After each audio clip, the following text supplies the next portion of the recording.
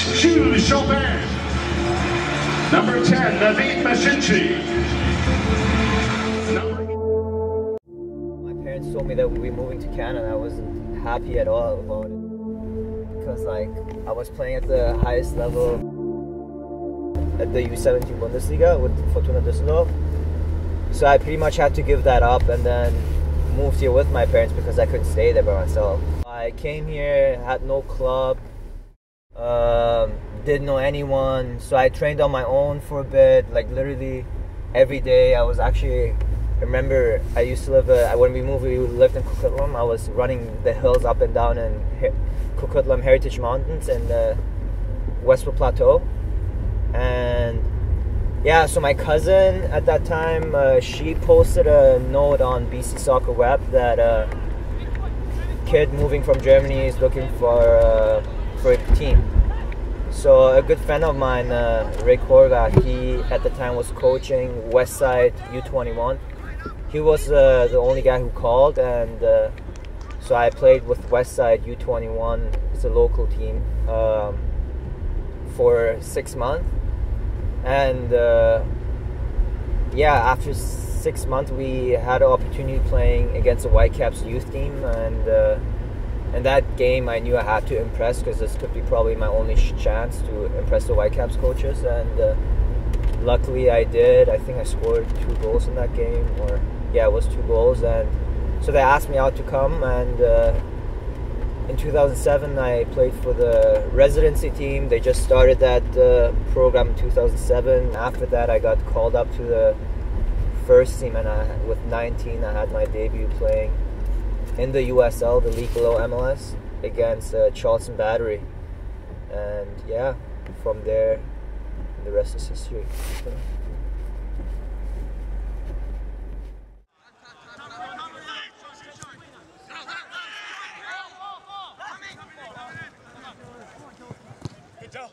I got uh, scouted by Fortuna Düsseldorf, who play in the second Bundesliga right now, and they're a big traditional club.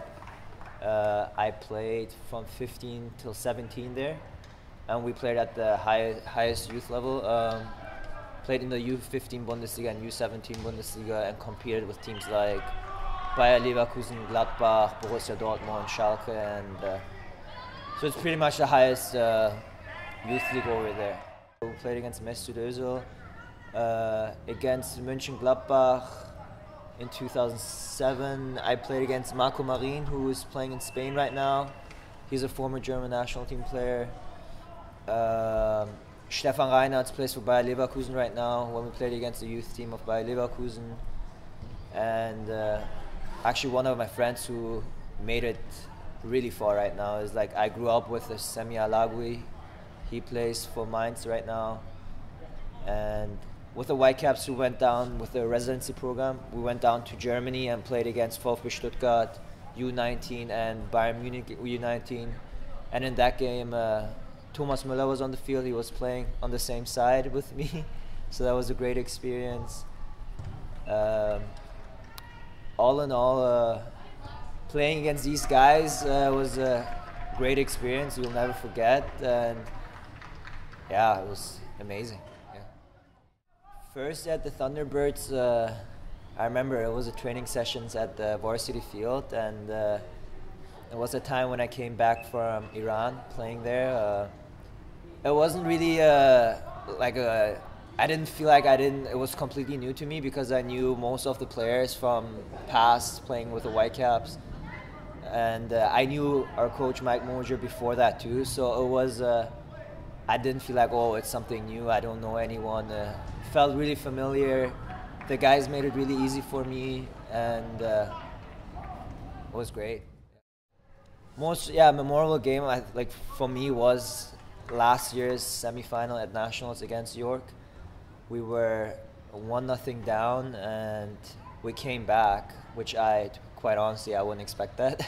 there were I think the strongest team at nationals we played against, and they had a really great team and so yeah, we went down one nothing. Probably could have even gone down two nothing, but uh, second half we came back with uh, I remember I had a free kick, I crossed it, and then Sean Einarson scored that off the volley.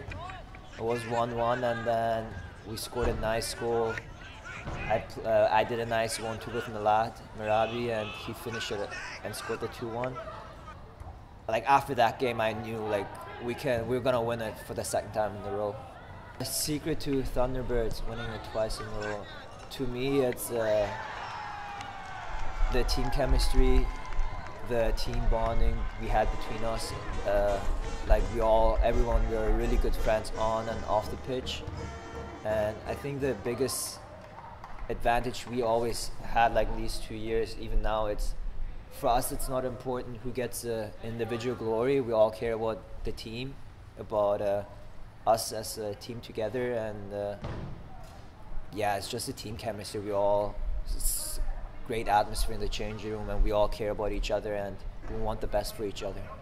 R rookie Thunderbirds. Uh, I mean, uh, the biggest challenge for players coming in as like straight from high school is, of course, it's a different level playing here with the UBC Thunderbirds, and I mean, the team right now is probably at this peak. It's like a really tough team to get in, to get into get a starting position, but the biggest advice I would give for younger players, as I give right now to a couple of our younger guys, is really to work hard every single training session and be patient. And what's all, once opportunity is available for them, and once they get the chance to play, that they have to take it because you don't get too many chances. And if you don't take it, there'll be another player who will uh, take it. Yeah. The biggest change I would love to see is uh, for guys who have uh, inspira- inspiration and have the wish to play at higher leagues and playing professionally, to give them the opportunity to play in um, MLS or NASL and getting drafted by the teams. Like right now, uh, CIS players are not able to get drafted by the MLS. They can't take part in the MLS drafts for several reasons. I don't know, but I mean, I wish in some point in at some point in the future that will change. That guys can get drafted from the MLS and take part of these uh, drafts. Yeah.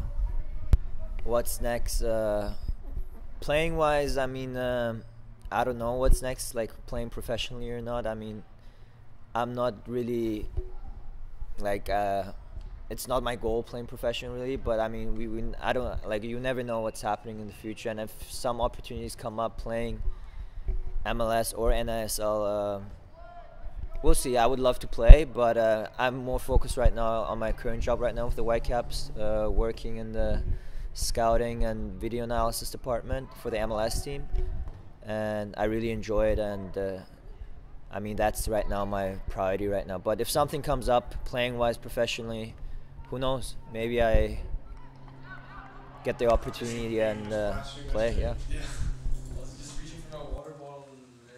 Always growing up uh, always big Bayern Munich fan. Uh, my dad uh, in Germany when we were we were always watching when I was a kid watching the Bundesliga together, and he was a Bayern fan, and from him I got it always uh, always from like from my heart, always Bayern Munich fan.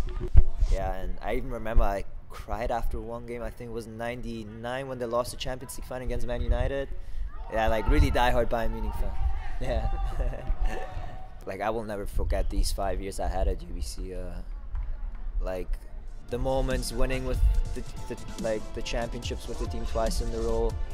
Even my first year when we went to the final and lost it, it was a big disappointment. Um, all the moments like the celebrating after the champ winning championship, or even the moments where we were sad and we were mad at each other. Like every single moment it's unforgettable. Like I will never forget these five years at UBC.